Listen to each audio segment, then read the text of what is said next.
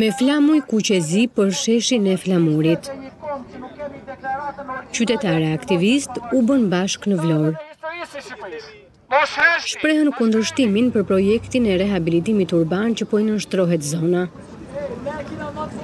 Thonë se ndërhyrja po i humb origjinalitetin sheshit që sipas tyre i takon gjithë shqiptarëve.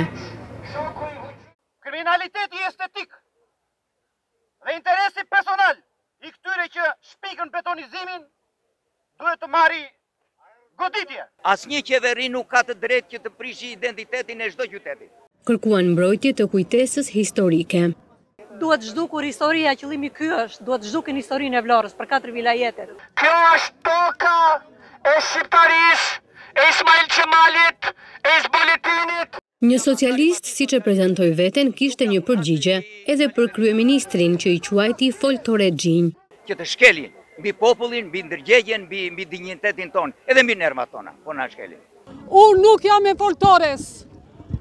Dhe këtu janë bijtë e Vatanit, djemtë e Ismail Qemalit.